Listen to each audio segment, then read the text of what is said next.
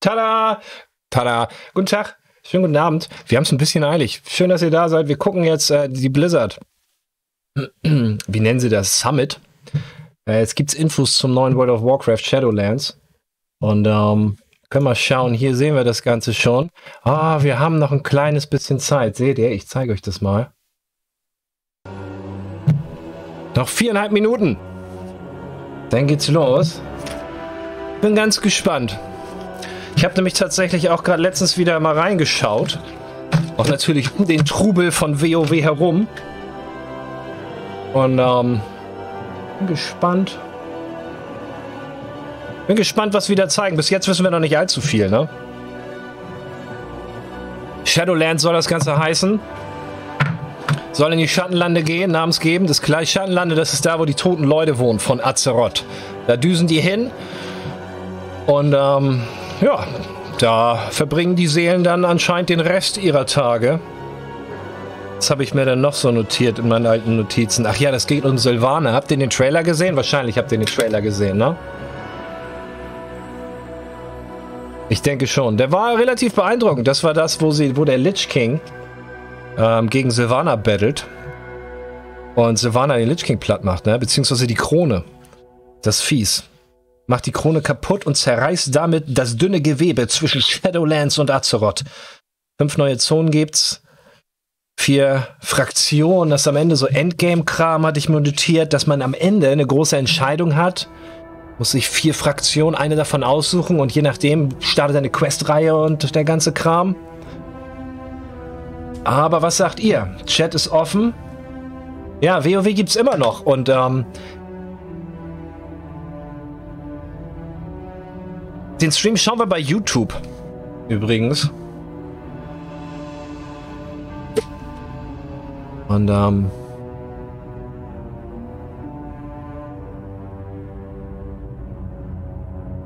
Mal, ist alles bereit? So, also ich bin bereit. Kann gleich losgehen. Ja, WoW gibt es immer noch, ne? Ist schon eine ganze Weile, jetzt fast 20 Jahre. Und ähm,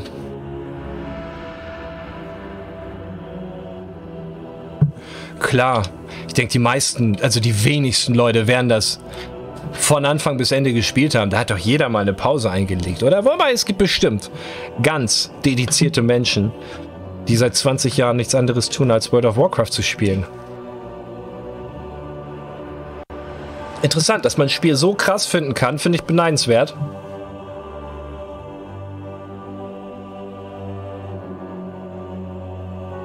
Ryan Fingern sagt gerade, bin schon gespannt, ob man jetzt wieder vier bis zehn Tasten weniger braucht, je nach Klasse. Ja, sie haben es halt runtergedampft. Das war auch mein Kritikpunkt, aber da geht es heute nicht drum. Wir gucken mal, wie sich World of Warcraft weiterentwickelt, ne? Es ist tatsächlich sehr reduziert im Vergleich zum damals. Das ist der größte Kritikpunkt von den meisten Spielern, mit denen ich spreche. Denn, ähm, ja, die Hardcore-Player-Base, die will halt kein Casual World of Warcraft. Aber um neue Abonnenten zu erschließen, muss es halt casualisieren. So ist es. So ist es. Ich meine, sie haben ja World of Warcraft Classic rausgebracht. Ne? Also so beschweren kann man sich ja nicht.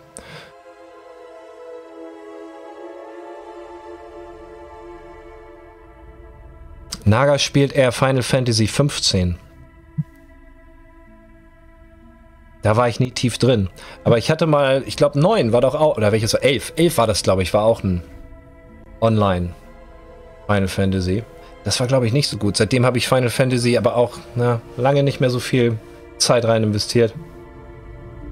Ja, ob es mehr werden soll mit den Skills, fragte Johnny89. Ja, das erfahren wir eventuell gleich. Madias hat sechs Monate Pause gemacht. Das ist ja noch nicht allzu viel. Melphis85 ignoriert WoW seit Beginn konsequent. Das war auch mein Plan, da ich damals, als es neu war, wusste, es wird mich süchtig machen. Und hat es dann auch damals. Jemand hat es mir geschenkt. Und dann musste ich spielen. Aber der Hype beginnt. Schauen wir mal, was die uns erzählen. Hello everyone and welcome to our Shadowlands live stream. I'm John Hight, executive producer for World of Warcraft. We have a lot to tell you about today, but first, I want to start by saying thank you to our amazing community. Like many of you, like many of you, our regular routines have been turned upside down since we quarantined in March. We miss seeing our friends, the daily greetings and face-to-face conversations that we took for granted have been replaced by webcam meetings, little windows into each other's homes. When we meet this way, we often talk about how COVID 19 and world events are affecting our team and our families. And one of the hardest parts is dealing with a feeling of helplessness.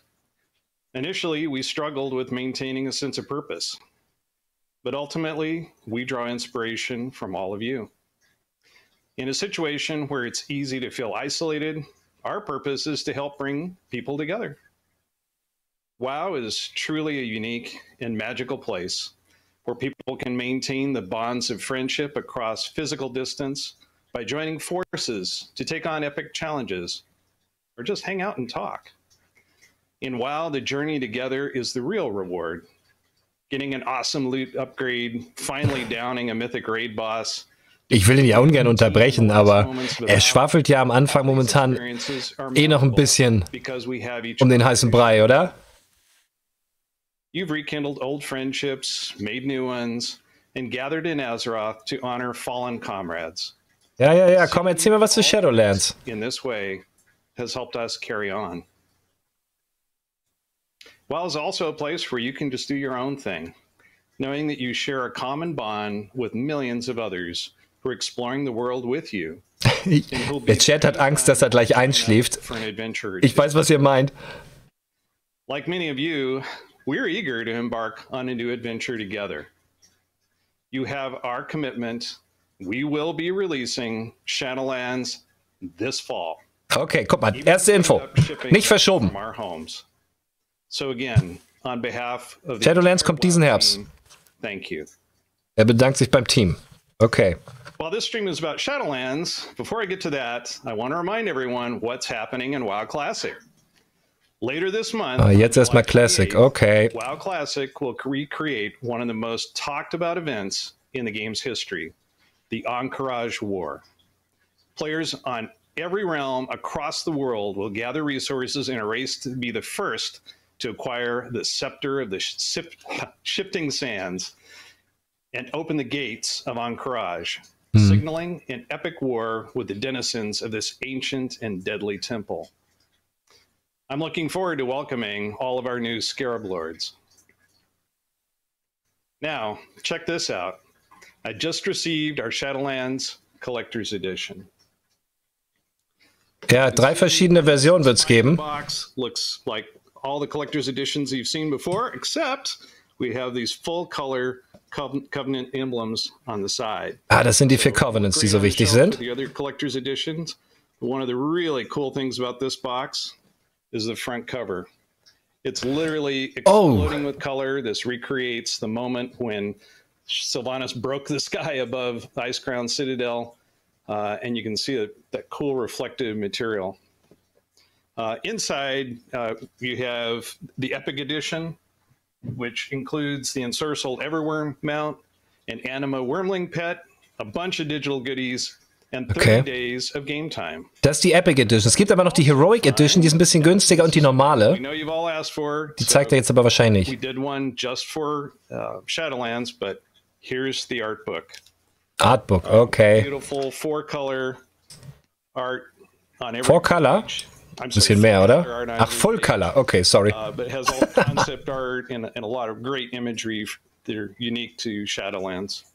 Okay, danke, ja. And so you can also uh, celebrate Shadowlands at your desk or home office. Uh, we have Shadowlands Mousepad. Das Shadowlands Mousepad, das ist da mit drin oder was ist so? Wahrscheinlich. Favorite component for this is we actually have a, a collector's pin collection. Uh, this contains a pin for each of the covenants. Sind die aus Metall? Necrolords, and Night Fae. Nicht aus, komm, sag, ob die aus Plastik sind oder aus Metall. It also includes a soundtrack for Shadowlands, so you can listen to the music of the afterlife wherever you go. Okay, na gut. You'll be experiencing more of Shadowlands very soon. In fact, I'm pleased to announce World of Warcraft Shadowlands will officially enter beta next week. Beta participants will be able to experience the max level challenges in the Maw, the most dangerous place in all the Shadowlands, and one of the most rewarding too. To tell you more about our upcoming beta, I'd like to introduce our game director, Ion Hazzikostas. On behalf of the WoW team, Okay. again. Jetzt kommt Ian. Ähm, Hi, everybody. Thank you, John. der hat seinen Zettel auch recht tief hängen. Your morning or evening with us, as the case may be. Um, Ich glaube, den habe ich schon mal getroffen. To be able to share that collector's edition with everybody. Um, one of my favorite features that John didn't get a chance to mention is that those pins actually have a self-destruct mechanism built in. So pick one carefully. If you want, you know, the other three might vanish instantly. Um, let's Ah, talk das war ein Gag about gerade. What is coming up in the data ahead and Shadowlands in general. So So, jetzt geht's los. Look back at the three months since we launched our alpha. Uh, just about three months ago to this day, the alpha began, and we welcomed thousands of folks from around the world in to begin to share this great project that we've been working on really for the last couple of years. You know, we've at this point journeyed through the four main zones of the Shadowlands, seen a glimpse of the Maw, experienced Covenant active abilities, and of course, seen Torghast. Ja, der nette Erich sagt's gerade. Erinnert ein bisschen an den Michael von 100,000 quests. Mystery Science Theater. Over 2,000 unique characters. Hören wir uns ein paar Zahlen an. Reach, our new player experience on the Alliance side, and ventured off to join the Alliance and go to Kul Tiras. Over 62,000 Torghast runs have been undertaken on our alpha servers. And alas, just over 11,000 of those ended in the clutches of the Tarragrue. So be more careful next time. And crucially, over 64,000 in-game bug reports using our in-game reporting tool have been entered by alpha testers. Our QA team internally is busy poring over those. So far, I think they've cataloged something like 1,600 unique bugs that are being tracked in our system as a result Okay, of the okay. reports, which will be fixed, of course, by the time Shadowlands comes ja, klar. Aber ganz ehrlich, was, was die Zahlen really sagen mehr, wenn du sagst, wie viele Spieler auch dabei sind. Wie viele sind denn überhaupt in dieser Alpha seit drei Monaten, um das in Relation zu setzen? the feedback within the tool, but also broader discussions on the forums and the community at large, on places like Reddit and Twitter, and the videos folks are making to share reactions, thoughts, and, and ways in which the experience that they're seeing could be improved. Something that our entire development team is eagerly attentive to. Now, our alpha experience and our alpha process really is a true alpha. For the past weeks, what you have been seeing is the active organic evolution of the game. Sometimes a build might have a change that literally is five days old. It's an experiment. It's it's a solution to you know some problem that was discovered, and we want to see what reactions are immediately. There's a very quick turnaround time there, and it's a collaborative process between us and the community. And so, you know, we've seen some changes to, for example, the pacing of Torghast and the removal of any sort of the, the torment system or time limits there. An area in Torghast we've heard a lot about also is, frankly, just how much fun people are having and the, the grim prospect of only being able to do it a certain number of times a week. Ja, ihr sagt's doch gerade im Chat, dann zeigt doch jetzt wenigstens uh, parallel ein bisschen Gameplay oder so. of Torghast would be completely ungated. But I'm actually happy to announce that at this point, we are shifting to completely remove all keying from all the wings of Torghast. And so you can run it to your heart's content. If you want to go in, have fun with a buddy, try out a new build, just experience the dynamic gameplay of Torghast, we don't want to get in your way. We'll figure out a solution to the reward system there to make sure that you're not required or overly encouraged to you know endlessly grind it all week. But if you want to do it just because it's fun, we don't want to stop you. And of course, our class team is listening, and our combat team are listening to the feedback there, and there are regular updates coming out, and many more to follow. Um, our level design team, which you know sculpts the hills and the mountains and the roads that shape our zones, are actually eagerly devouring every bit of footage of people playing the alpha they can get their hands on. Often watching people who get turned around or confused or stuck trying to climb up a hill that looks like it should be climbable, and they're instantly going in, fixing those areas for the next build the next week. Um, every part of the game. Our, our character artists who are looking at reactions to character customizations that are going out and hearing what people are most excited about, what they wish they could have, what options are missing, and doing what they can to add that. Um, so I can't thank all of you enough, both the people who are in the alpha who have been testing there for us, but also those who are sharing their thoughts as part of the broader community conversation. The work that goes into Shadowlands is, you know, as much yours as it is ours, truly.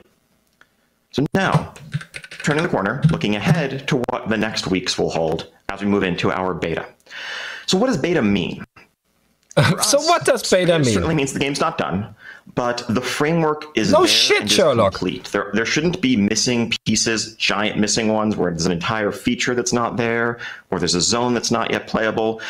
While those things are true, we continue to call it alpha, but we're getting very close to, you know, pretty much the the framework all being intact, being present. And so the level cap is going to go up to 60 when beta begins. It's also going to mean a first look at our endgame systems, at truly joining a covenant, at visiting your covenant sanctum, playing through that content, playing through our outdoor world max level content, our max level dungeons, our raids, experiencing soulbinds, and more. And there's a lot of work still to be done to flesh out the details of these systems, but everything should be there, and that's why we are now calling it beta. Now, perhaps most importantly for many of you, this also means a big new invite wave going out. Uh, that's going to start next week and a process that will continue as we also want to, you know, maintain a lot of concurrency on our test servers so we can get feedback on what zones feel like when there are dozens or hundreds of people in there competing over spawns, trying to do quests together. So make sure to go to our Battle.net account options, check your settings there, make sure that you're opted in to Warcraft beta if that interests you, and be patient. Don't get frustrated if you don't get an email from us right away. We will continue to do invites over the course of the summer. And as John said, of course, this kicks off next week.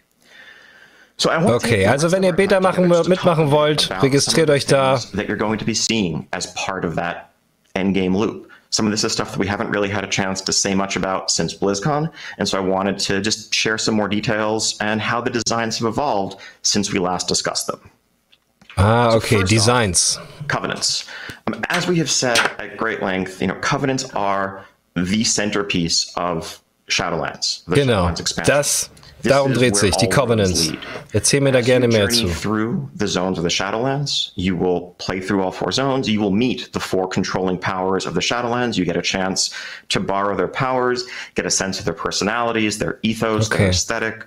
And at the end of that road, when you hit level 60, what awaits you is this fateful choice as you return to Oribos, now fully understanding the stakes that are affecting. Ja, das ist im Grunde, wussten wir eigentlich schon alles.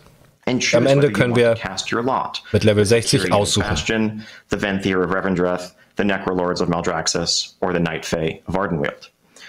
And you know, as you make that choice, Ja. what that means is unlocking an entire sphere of Eine gameplay Sphere. and content for Eine- you. wow. But what we've Was seen so heißt far das? in Alpha really is just the tip of the iceberg. It's just these couple of active abilities that you know you get to experience while leveling up. We also made sure to make those testable as early as possible, just to get mechanical feedback on them and what felt good and what didn't. But now it's time to see the rest of the iceberg and everything the covenants entail. So on the system side, first off, one of the most prominent Ah, immediate guck mal. things you're going to experience Das ist komplett neu. soulbinds. So soulbinding is this ancient ritual in the Shadowlands where Komm, Ian, mach das größer. Oh, two danke. souls can link themselves to each other, sharing a portion of their identity, of their memories, and also of their powers. And so as you join a covenant, you'll be able to form soul binds with certain key powerful souls that are affiliated with that covenant. These will be characters with vibrant, memorable personalities, many of which you will have met while leveling up and while questing through those zones. So here, let's let's I'm going to use the Venthyr and Revendreth for a lot of these upcoming examples because that's the first covenant that we're going to have playable in an upcoming build. Um, Nadjia, Okay. the Mistblade, is she was a, a renowned duelist in life, and that persona really shapes all of her abilities and the ways in which she's going to enhance your combat ability, grant you utility, and more. Um, and so, what each soulbind represents, as you can see in this slide, it's effectively a talent tree. that you can, you know, you will traverse down as you gain power in your covenant. You can pick which path you want to go down, customize your gameplay, you know, customize those abilities to suit your gameplay.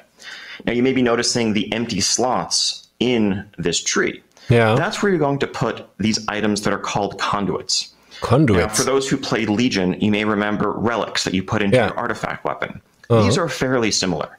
Uh, conduits are going to be items that you can get from dungeon bosses, raids, PvP. Okay, you know, gut. sort a wide array of max level nicht so überraschend. sources. Sagt er selber, gab's schon. The soulbind traits, which are universal, where you know an arms warrior and a holy priest have the same traits. If you have Nadjia as your soulbind, conduits are spec specific. They will do things like improve your ignore pain or your rejuvenation or whatever you choose to slot it. Um, there are different conduit types. Some are going to focus on increasing your throughput, like your damage and healing. Others are more about survival. Others are about utility. Again, this is letting you mix and match to choose the gameplay and the loadout that really best suits whatever you're looking to do on a given evening. Okay, also man findet ein paar Relics und dann kann man da rumprobieren, weil es da gibt's mehrere und die könnt ihr in die leeren Slots stecken. Alles klar. Lightly switched. Soulbinds have a great deal of flexibility, both in terms of respecking them at a nominal cost, nothing escalating like how Azerite was in Battle for Azeroth, or just switching from one soulbind to another, the same way you might respec or switch talents. Okay, the easy, switching easy. A range of options, and you pick what suits you. Range of Options, weiß ich nicht. Sieht, also, habt ihr schon mal einen kleineren Skilltree gesehen? Aber You know, as ich steck you mich ein bisschen an mit eurem Sarkasmus im Chat. join the covenant. Gib dem Typen um, mal eine Chance. A key way in which you're going to progress within your covenant is by gaining renown. Uh, renown will deepen your connection with your soulbinds. It will also unlock a wide range of features, rewards, Klingt neu. which we'll talk about in a little bit. Habe das Gefühl, das gleiche wie Rufus. Und der ist schon ein bisschen älter. You'll earn renown by, on a weekly basis, going out into the world, gathering anima, this precious lifeblood of the Shadowlands that every covenant is starving for, or by going into the Maw and rescuing tormented souls that really rightfully belonged in your covenant, in your realm, but that were instead cast into the maw because of how the machine of death is broken. Uh, this isn't an open-ended grind. This isn't like artifact power. This is a more, you know, metered progression as you're working on behalf of your covenant. And we're making sure that really from the start, the moment Shadowlands launches, we have robust catch-up systems built in, whether you are an alt, someone who's switched covenants, or someone who's just, you know, late coming to the game, we don't want you to feel like you're behind or like you have some you know catch up calendar. Uh, but Renown is a primary way in which you will progress through the systems of the Covenant, including Soulbinds, but also some stuff I'm about to talk about next. So each covenant has a sanctum. Now these are, you know, there's loose inspiration is drawn here from things like the garrisons back in Warlords or the class halls in Legion. Ah, okay. Das finde ich gar nicht schlecht. Kommt wieder so eine Basis zurück oder was will er sagen? you're actually likely to begin and end most of your gameplay sessions once you're at max level. Das fand ich super. Has a number of features to it that you can. Wie ist das, die Garrison? But really restore to Garnison. Because I think what we're going to learn as we venture through the Shadowlands is that this was a, a vibrant place that had its own ecosystem and politics. Es war super. Warum habt you ihr das rausgenommen? Various pastimes, but all this has been thrown into disarray as a drought plagues the land. Everything is withering, starved of anima, and chaos really is consuming the Shadowlands. And you, as a champion of your covenant, will be working to restore that order, to restore things to how they once were. And that will be largely accomplished by getting anima, rescuing souls from the maw, and restoring, activating these structures. Uh, one of them that every covenant has is a transportation network. So within your own zone, if you're a member of the Night Fae within Ardenweald, there's a complex route network that lets you quickly access different parts of the zone. The Venthyr and Revendreth have a network of blood mirrors that can basically teleport you Okay. around. We want to make it so that Also man kann wieder teleporten, vielleicht jetzt sogar noch exzessiver. Most at home, most comfortable in your zone if you're a member of that given covenant, because that is where your powers are greatest. That is where your covenant's influence is greatest. Uh, another structure that every covenant has is something called an anima conductor. So as I've mentioned, you know, part of the plight of the Shadowlands is this lack of anima. Groves in Ar- in Ardenweald that were once flourishing with magical energy are now desiccated, withered. Uh, temples in Bastion lie dormant, deactivated. The constructs that once guarded them are inactive. And Anima is the answer to all of those things. And so what you're doing as you bring it back to your covenant and to your sanctum Welches Gebiet ist das? pooling it in a reservoir, but you also have the ability to direct the flow of anima outward toward your zone to regrow, reactivate these dormant parts of the space. Now, what that means in gameplay terms is you can send a stream of anima over to an area, which will enable quests, treasures, events, outdoor world content in that area for you based on your choice on a given day. Habt ihr das As you gehört? upgrade your anima Das ist tatsächlich neu. You'll have more options that you can unlock. And as you engage in the system in general, you can progress towards permanently enabling and reactivating. Also ihr habt Einfluss darauf, auf dieser Map, je nachdem wie ihr den Anima Flow verteilt. World change around you to an extent.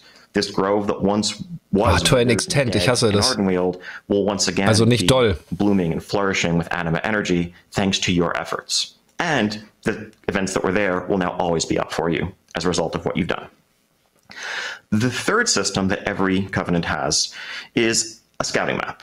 This is an extension of Ah, the NPCs system losschicken? first introduced back in Warlords of Draenor, and we've kind of tinkered with that formula a couple times since then. And I think the basic loop there, we've moved away from its central importance that it had in Warlords, and I think we're not looking to go back to you know the Warlords era version of this being a source or the best raid gear in the game or what have you. But it's an outlet for some storytelling, um, some offline progression. So you have something waiting for you where you log in and something that you can maybe check in on in shorter sessions. But we want to add more depth to the system than what we've had in the last couple of Noch mehr. Tiefe. Um, Na gut, dann erzähl mal. previously really is just it boils down to a coin flip. You're doing a simple matching game, matching counters to threats, and maybe you get up to 170% success chance to get your bonus reward and hope you get lucky. And really, if you didn't, there's nothing you could have done better, nothing you did right or wrong, and it's either it's you either succeed or fail. We want to re-envision the foundations of that system to be something that is a better analog to the fantasy that we're trying to convey. Uh, the way a mission works in Warcraft isn't a coin flip. The way combat works in Warcraft, when you're sending these champions out into a dangerous area, isn't success or failure. It's nuanced gameplay with tanks and healers and melee DPS and range DPS as a party of combatants fight a bunch of enemies. And so this is an abstracted form of that type of combat.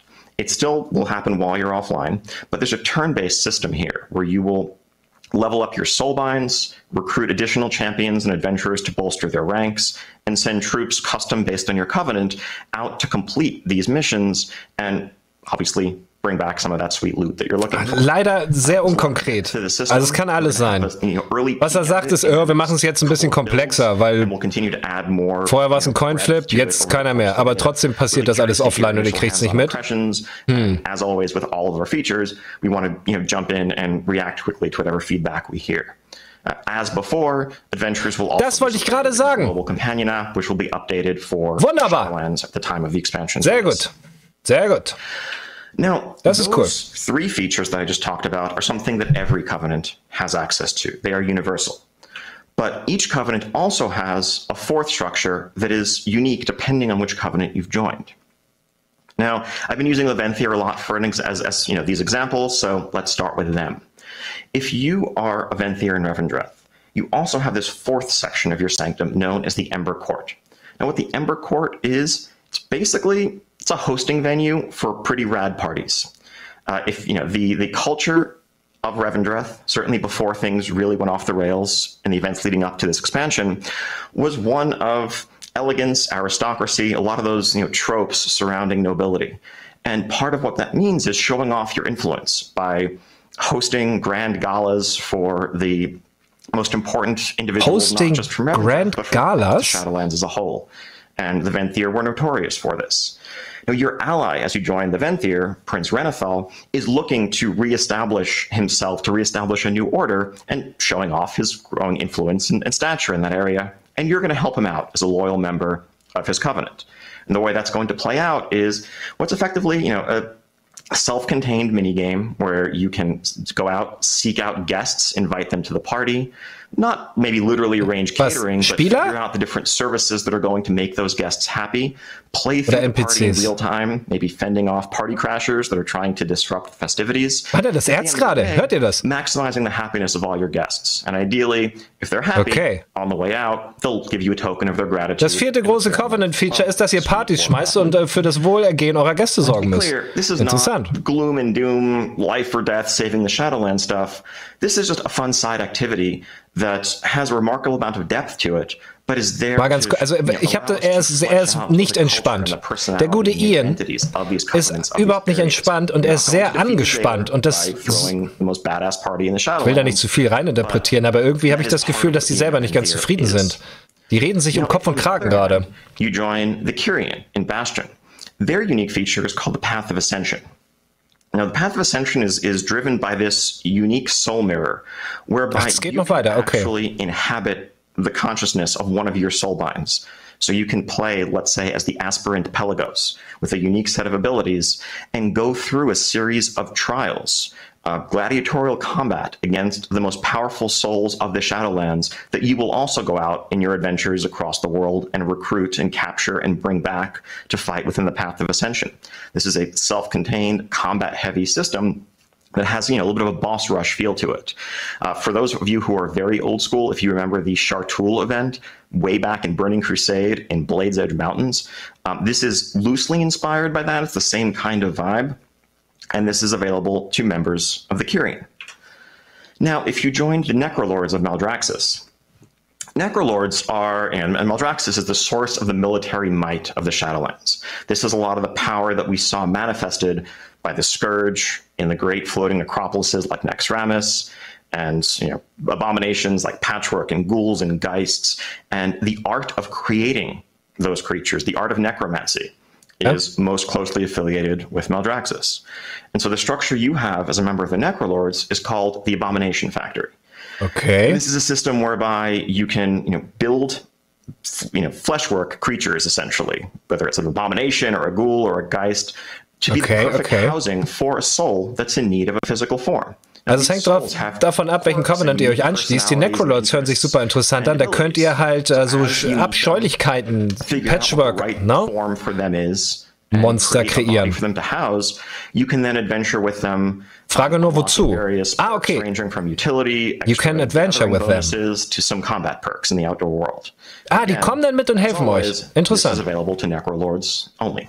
Available to Necrolords only. Nur für Necrolords, Finally, okay. if you're a member of the Night Fae of Ardenweald, Klingt besser als Partys schmeißen, Ardenweald oder? contains in its innermost reaches a sacred grove known as the Queen's Conservatory. This is where powerful souls effectively germinate, rest, are infused with the surrounding energies of the forest, and are prepared for rebirth and return to the world of the living, because that is the essential function, one of the essential properties of Ardenweald.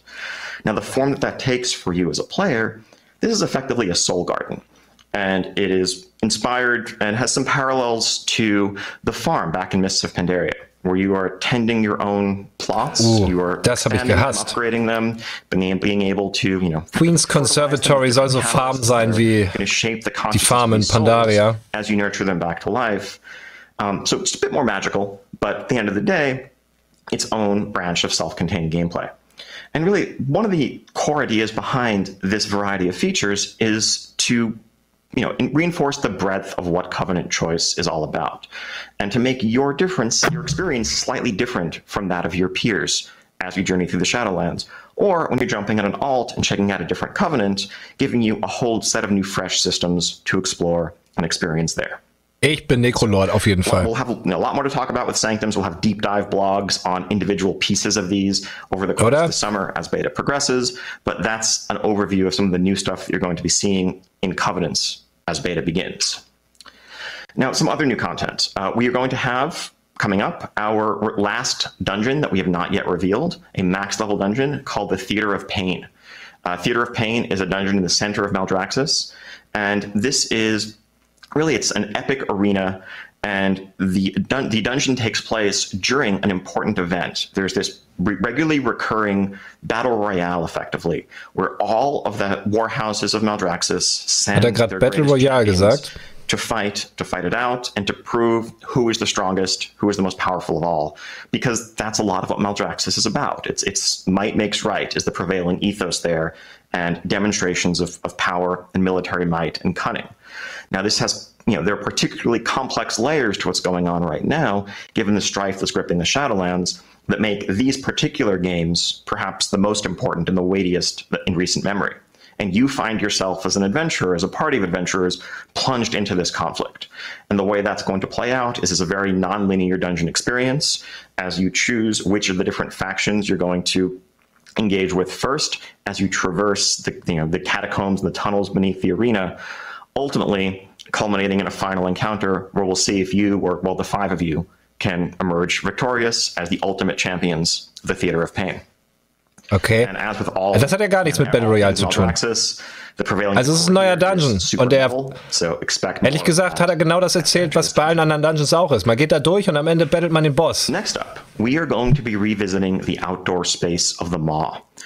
So this is really where it all began for us in the Shadowlands. We just saw a couple of weeks ago in Alpha those initial, you know, that initial venture into the Maw, the domain of the jailer, as we went in from Icecrown Citadel, not knowing what was going to await us on the other side. what we found was a horrific array of forces that we can't hope to overcome.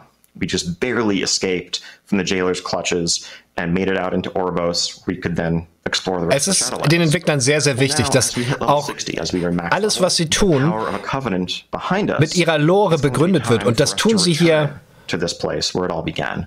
To go into the Maw. Sie erklären alles mit der Lore, aber so die, die uh, einzelnen Spielmechaniken oder so mal objektiver zu besprechen. Ich muss nämlich ehrlich sagen, die Lore von WoW gibt mir ziemlich. to encounter probably the one singular being in all of the Maw who doesn't actively want to kill us, at least as far as we can tell. This mysterious broker known as Venari. Venari is kind of huddled away in a small cave in the Seht ihr schon wieder? Er erzählt schon wieder eine Geschichte aus der Lore. Er ist ein Geschichtenerzähler gerade. explore, gather precious artifacts and resources from throughout the Maw that will maybe make it a little bit more of a hospitable place for you, give you more information, increase your ability to traverse the Maw, as well as improve your effectiveness in Torghast. The Maw is really inspired by a lot of our more sandboxy endgame content in the past. Uh, most recently, probably Mechagon from the Rise of Azshara patch that we had in the middle of Battle for Azeroth. But you know, those roots go all the way back to places like Timeless Isle. This isn't a place where you're going to bring up your map and see a bunch of world quests and clear direction. It's more about a loose structure, general broad objectives, and then lots and lots of discoverable gameplay. Uh, so we can't wait to have people jump in here, let us know what you think. And you know, one of the really fun challenges in creating this experience was trying to create gameplay that reflects the fantasy of the space. You are not welcome here. Heißt konkret? place full of flight paths and mm. inns to set your Hearthstone and people who are welcoming you at every turn.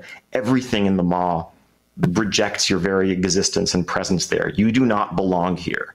And everything you do is under the watchful eye of the jailer where if you you know raise a bit too much of a ruckus you are engaging in you know you're making a bit too much noise, fighting too many big champions, calling the, the attention of the jailer upon you, you're going to need to beat a hasty retreat if you want to get out there and if you want to escape with your life and your hard-won earnings intact.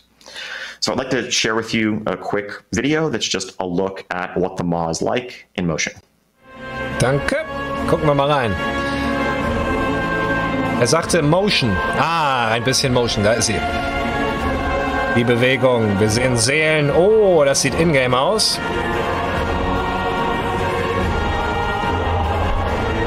Die Inis haben sie ja tatsächlich ganz gut gepimpt, ne? Die sehen ganz gut aus.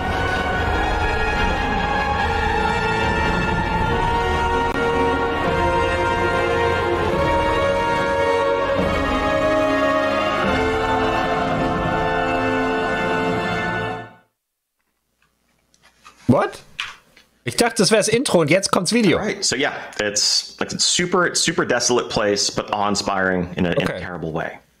So those are some of the specifics that we've you know just covered. I also want to lay out a bit more of what lies ahead as beta unfolds across the summer.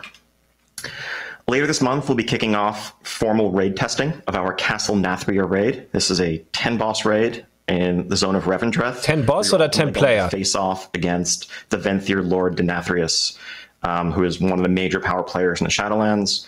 It's just incredible gothic fantasy. Our encounter team and our dungeon art team had a blast making this.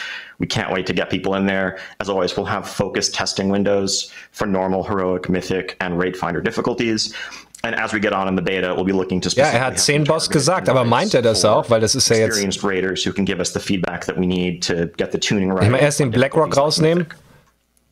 Also, later then- this month, we'll be kicking off Shadowlands Mythic Keystone Dungeons. Uh, we want to get these in your hands as quickly as possible. You know, as soon as max level content is unlocked, we want to enable Mythic Keystones. We'll probably have a vendor that just sells keystones directly just to facilitate testing.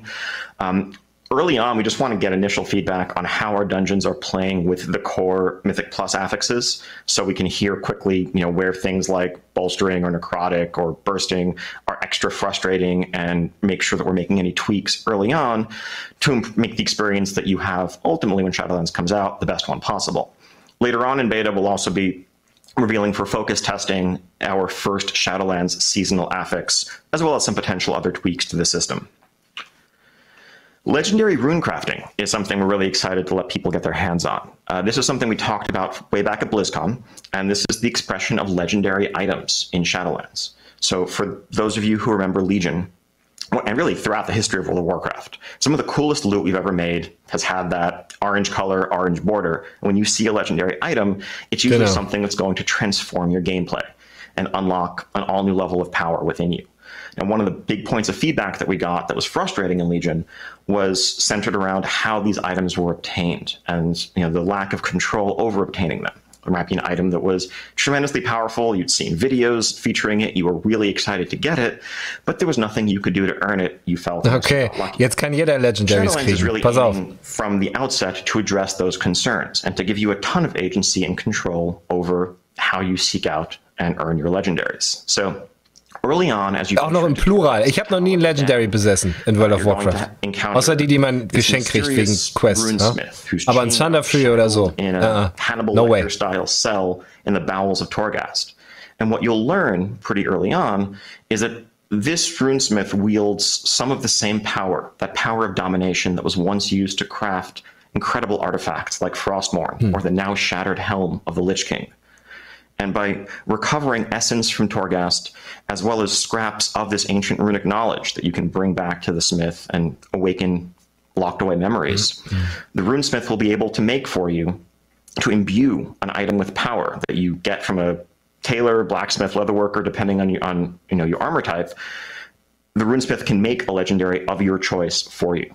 That way, you can look at those amazing bracers or gloves or boots or whatever you're seeking and work towards it, earn it, and then begin your next project.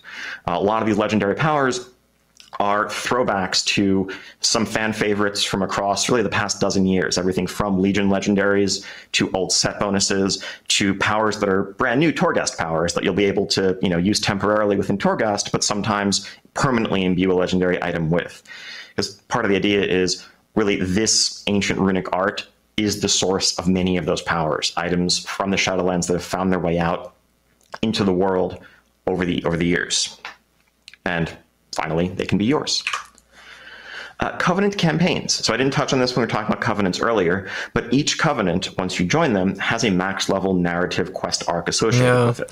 This is similar Ja, die letzten Infos sind alle recht alt, das wusste man schon. There, there was an alliance campaign and a horde campaign.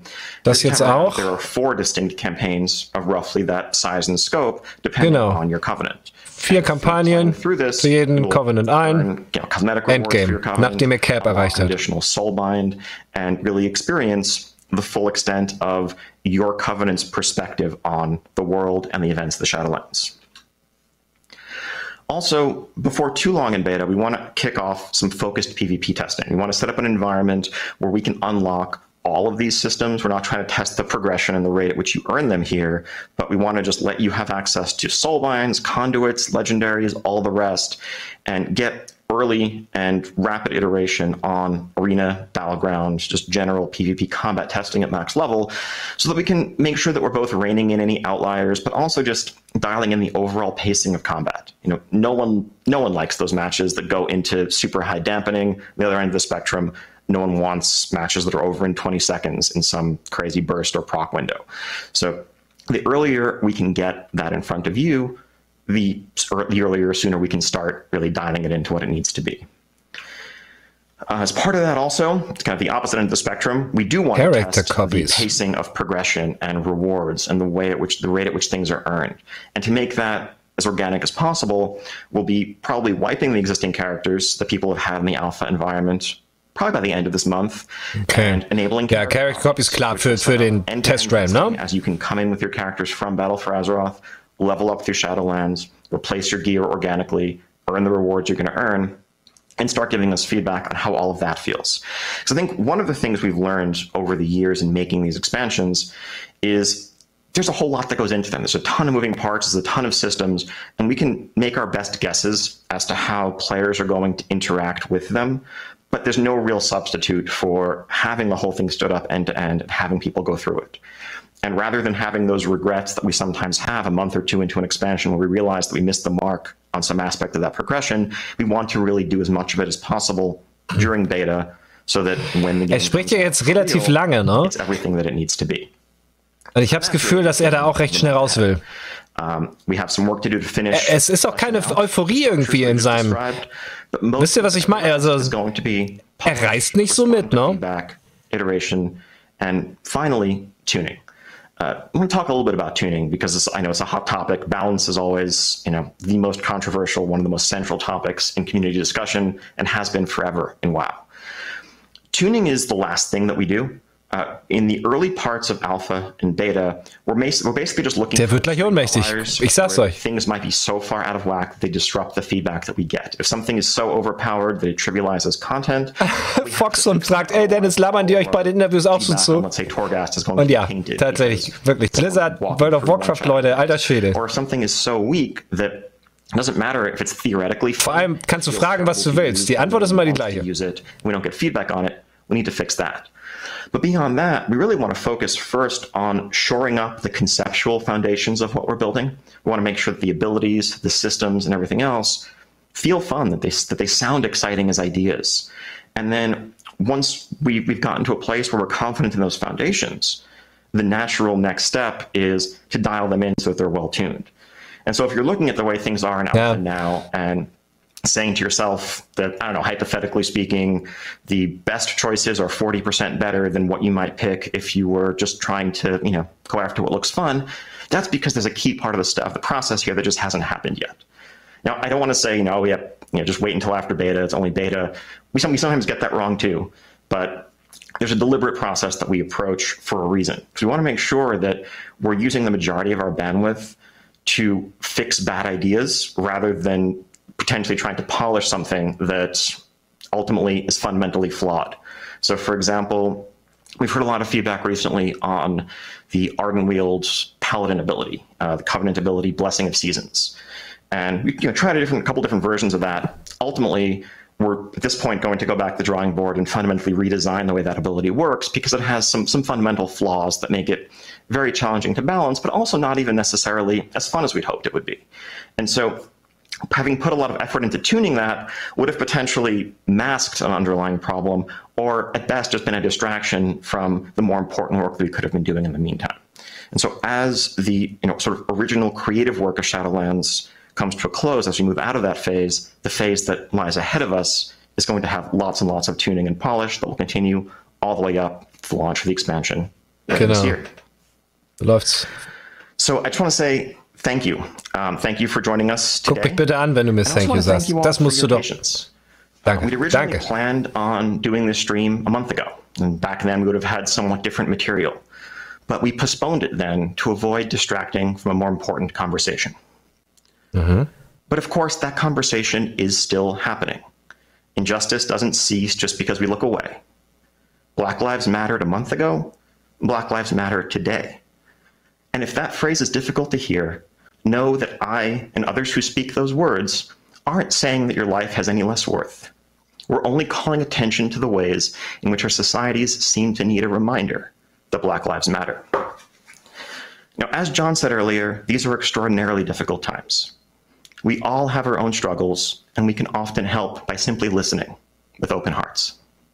So be kind to one another, stay safe, and we'll see you in Azeroth and in the Shadowlands beyond. Thank you.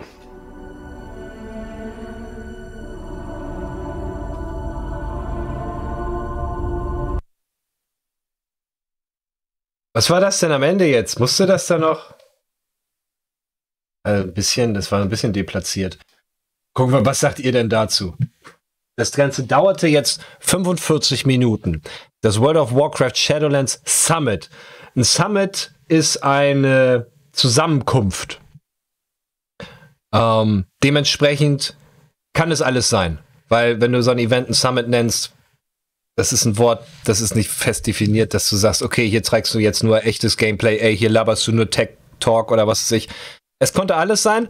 Was es war, war ähm, sehr viele kleine Infos. Nichts Weltbewegendes im Grunde. Vieles davon, ich würde sagen, fast die Hälfte wusste man eigentlich schon. Oder? Also das mit den vier Covenants am Ende und den Zonen und dass ihr dann natürlich da am Ende eine spezielle Questlinie kriegt und so. War jetzt nicht so weltbewegend. Aber gut, ähm, vielleicht habe ich zu viel erwartet. Ich dachte, dass jetzt hier ordentlich was runter, was, was, was abgeladen wird an Infos und ein neuer Trailer und keine Ahnung. Keine, was weiß ich, Mark Morheim ist wieder am Start oder who knows. Okay, so, das, jetzt haben sie den Stream auch abgebrochen übrigens, ist vorbei. Okay.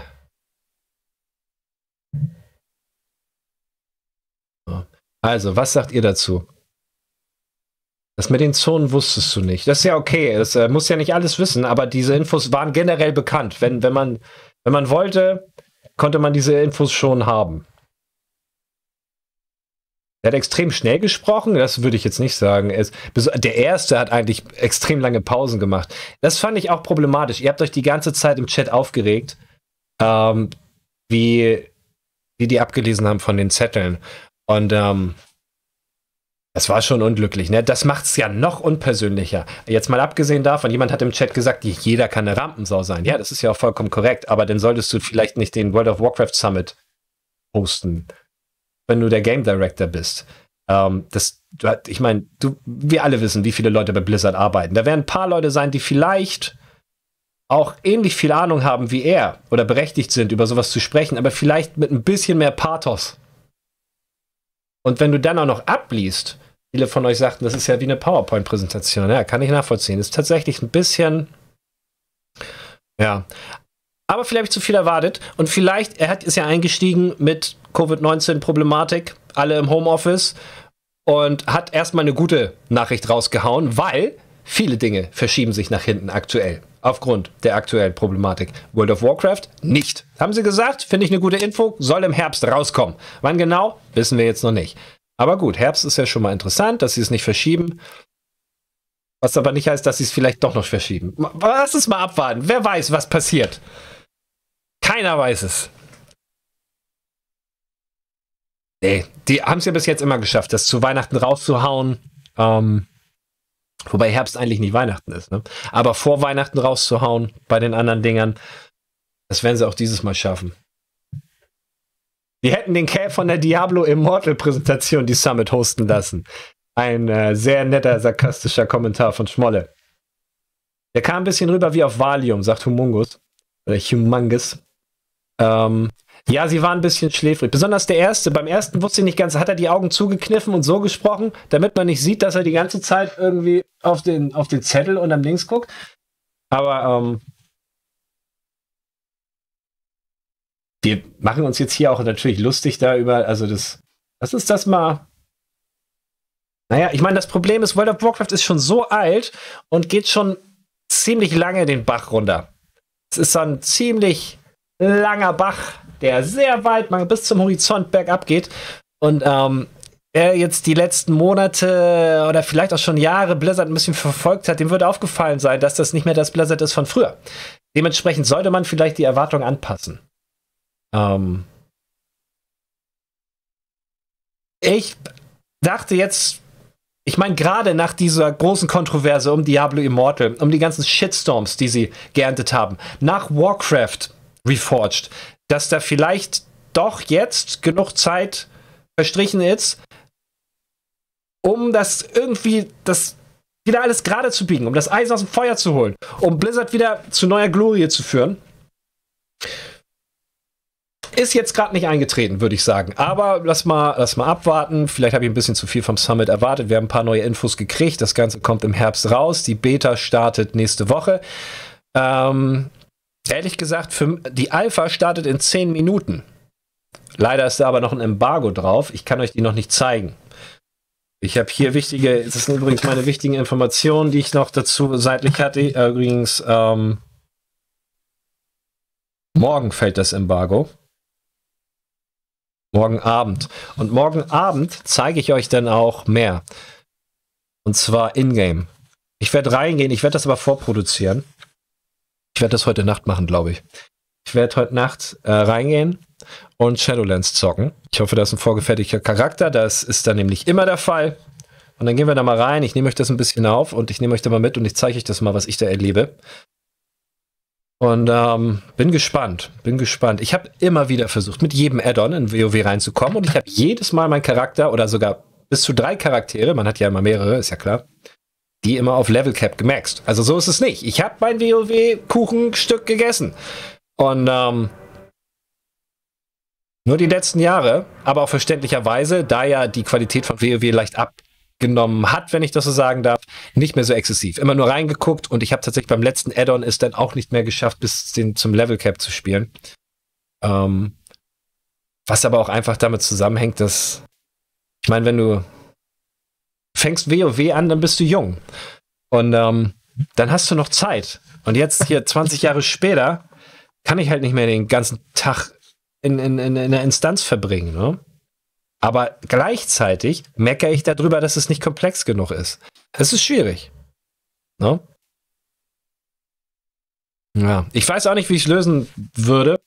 Ich glaube, das weiß keiner so genau. Das, das WoW ist mittlerweile so groß, dass es schwierig ist. Aber was mich am meisten stört, bevor ich gleich noch mal kurz auf eure Kommentare eingehe, ist eigentlich gerade, dass sie das, dass sie die Levels auf 60 bringen wieder. Was ist das denn für ein Design-Flaw? Entweder machst du das Spiel und du gehst konsequent chronologisch von Level 1 mit deinem Charakter zu Level X. In Vanilla war es 60, dann kam Burning Crusade 70, Lich King 80, äh, Pandaria und what the fuck das alles kam. Dann waren wir bei 110, 120 jetzt und jetzt wieder zu 60? Sie mussten schon mal alles resetten vor ein, zwei Add-ons, weil die ganzen Damage-Zahlen waren irgendwann so absurd hoch, dass sie gesagt haben, oh, okay, zack, nee, einmal zack, zack, mit dem neuen Add-on resetten wir alles und machen wieder niedrige Damage-Zahlen. Das sind ziemlich starke Design-Flaws, finde ich. Das darf nicht sein. Da haben sie von Anfang an nicht richtig nachgedacht, wie sie das Ding, ähm, wie sagt man, skalieren, wenn es weitergeht. Das finde ich ein bisschen seltsam. Jetzt mit 60 wieder. Ich war 120, wieso bin ich jetzt 60? Das finde ich seltsam, ne? 60 ist das 930, sagt Hans Wurst. Ja, die haben schon sogar schon mehrmals die Damage- und HP-Zahlen resettet, sagt auch Schmolle. Ja, ja, das stimmt. 130 Leveln, sagt Crazy Business, ist nachher so boring, das muss sein mit dem Crunchen, gerade für viel Twinker. Ja, hm, ganz ehrlich, das ist eine Einstellung, die mag für dich gelten. Aber für mich ist immer noch das Leveln das Beste. Endgame ist mittlerweile auch ganz cool, aber ich war nie der Typ zum Beispiel. Wir, haben, wir sind alle verschiedene Spielerarten. Ich habe nie in Gilden abgehangen und die krassen mega ähm, 100-Mann-Raids gespielt, um die super Oberbosse Ragnaros und sowas zu töten. Habe ich nie hingekriegt, weil ich es nicht geschafft habe. Ich äh, kann nicht gut mit anderen Menschen. Und das ist bei Gilden so. Ähm, da sind, das ist mehr, es sind immer sehr viele Menschen auf einem Haufen und ähm, das, ist, das ist nicht mein Milieu. Deswegen war ich ein Solo-Gamer oder zumindest in kleinen Gruppen. Fetten Raid mit 40 Leuten war es ja damals. War too much. Habe ich ausprobiert, aber denn da sonntags morgens um 10 aufzustehen, bereit zu sein und dann hat die Gilde, dann ist der Gildenanführer auch noch so ein harter Typ, der dich anschreit, wenn du dein DPM nicht doch höher kriegst und so. Nee, das ist nicht meins. Deswegen äh, kann ich das nicht ganz nachvollziehen. Bei Blizzard hat man früher für Level Up einen coolen neuen Spell gekriegt. Ja, das stimmt. Also. Es geht darum, alle ein, zwei Levels was Neues zu bekommen. Im Moment ist bei Level 80 Schluss mit den neuen Fähigkeiten. Ja, was denn? Tut doch nicht Not.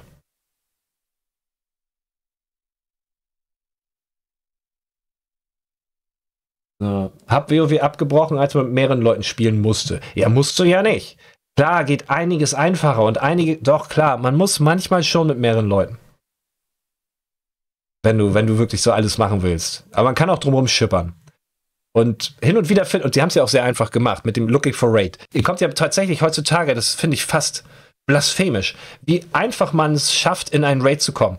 Mit einem Haufen von Noobs da durchrennt und ich dachte wenigstens ist das challenging, also herausfordernd, aber du läufst da ja durch und ganz ehrlich, die Hälfte beim Looking for Raid, die, die, die folgen nur ihren anderen Leuten und gucken bei YouTube irgendein Video, während sie gar nicht spielen, weil du brauchst eigentlich nur die Hälfte. Ich, es ist schon alles sehr einfach geworden und das macht mich ein bisschen traurig. Keine Herausforderung mehr. Das ist nicht das, was ich suche. Naja. Chickerhut sagt, I feel you, Denzel. Sir Francelot sagt, alles erlebt. 40 Mann-Raids waren der Hammer. Devro, ja, das war auch der Hammer. Als das neu war, als ich das das erste Mal gemacht habe, das erste Mal Molten Core und Sugurup und wie das alles hieß damals. Ähm, das war schon Hammer. Heutzutage ist das nicht mehr so neu.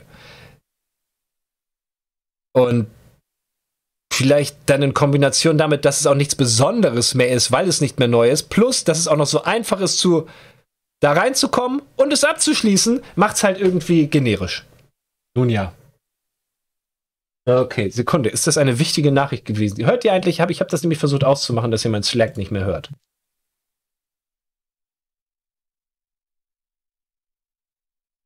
Tut mir leid. War ich kurz abgelenkt. Kollegen hier anfunken. Ja, ich guck mal in den Chat. Was sagt ihr noch dazu? Ich eine, anscheinend eine Meinung. Ihr hört mein Slack nicht. Wunderbar, habe ich es gefixt. Kein Reiz mehr da, sagt Schickerhut.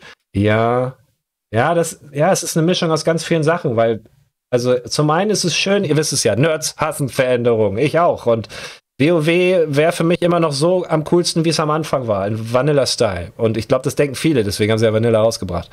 Ähm, also, ja, nee, wie heißt das? Remastered. Nee, Classic. Classic. Was wollte ich sagen? Geht mir viel im Kopf rum. Sag mal lieber was, was ihr. Mythic Plus kann schon herausfordernd sein. Ja, das stimmt. Ähm, aber ähm, ja, du, du hast recht, aber für mich ist das nichts Neues. Wenn ich eine Instanz gespielt habe, die gleiche nochmal zu spielen und sie ist schwerer, weil ein paar Zahlen jetzt größer sind, ist für mich keine, kein Ansporn, das jetzt noch weiter zu pushen in Mythic und sowas. Da bin ich da nicht zu deep genug drin. Remastered wäre nice gewesen, actually, ne? Ja, ja. Sagt gerade Doc Brown.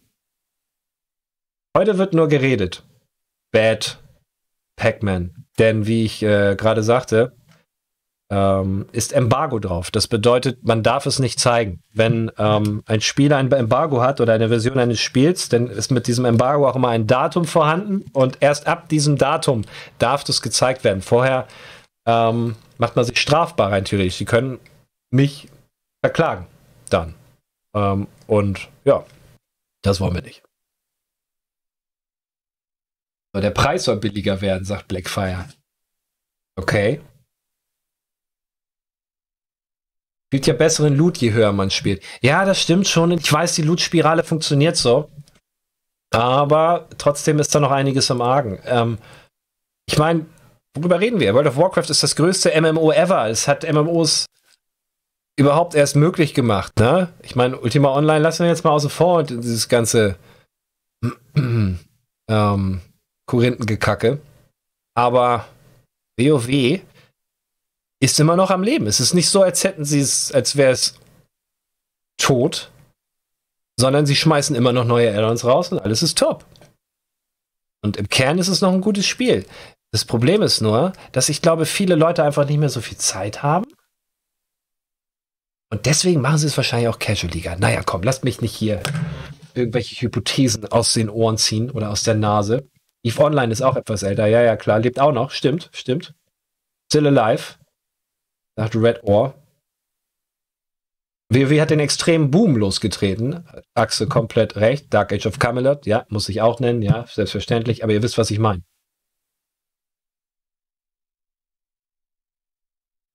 Was war das zu Ultima Online? Ja, Ultima Online war ja noch früher da.